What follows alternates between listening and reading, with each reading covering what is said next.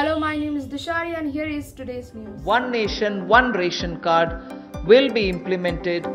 The Supreme Court last month set July 31, 2021 as the last day for the states and union territories across India to implement the One Nation, One Ration Card scheme.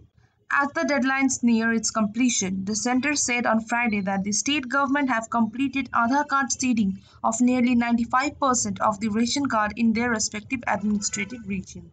The One Nation One Ration Card scheme is one of the several plans being implemented under the NFSA to enable the nationwide portability of ration card.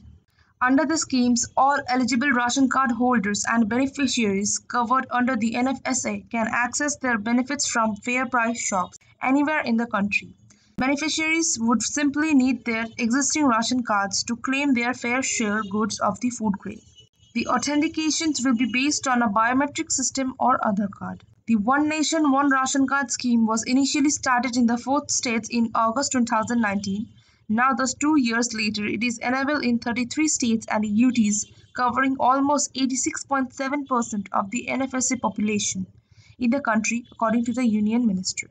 Delhi is the latest territory to enable the ONORC plan from July 2021. The minister said the central government has been urging the remaining three states of the Chhattisgarh, Assam, and West Bengal to enable the scheme at the earliest, depending upon their technical readiness to implement the portability of the ration cards. Do like, share, subscribe to this channel and follow us on Instagram. Thank you.